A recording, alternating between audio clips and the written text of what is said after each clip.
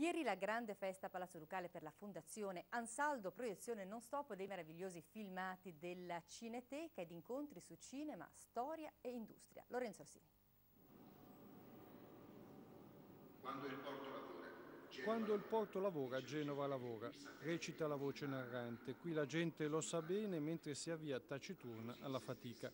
Cinema e porto, cinema e industria, cinema e lavoro, ma non solo. Quando la potenza evocatrice delle immagini sa rivelare e raccontare in un attimo un mondo, un'epoca, i cambiamenti, i contrasti, i drammi, le lotte, le guerre, le tragedie, la fatica degli uomini, ma anche la gioia, la vitalità, le conquiste, la nostra storia, insomma.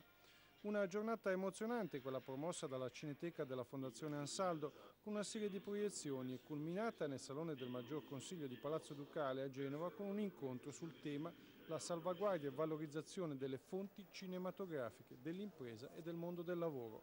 Collegato in videoconferenza il regista genovese Giuliano Montaldo.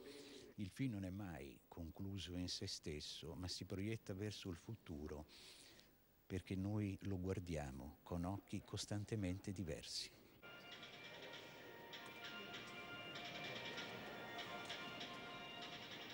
Quello che diceva Montanelli, un paese che non conosce il proprio passato non può capire nulla del proprio presente ed è fondamentale il nostro passato ed è fondamentale che un'azienda lo abbia mantenuto e tutto questo speriamo poi di potervelo ripresentare su Rai Storia combinato, utilizzando i vari archivi che ormai in un paese come l'Italia devono cominciare a avere la capacità di mischiarsi, di riunirsi e di divulgarsi contemporaneamente.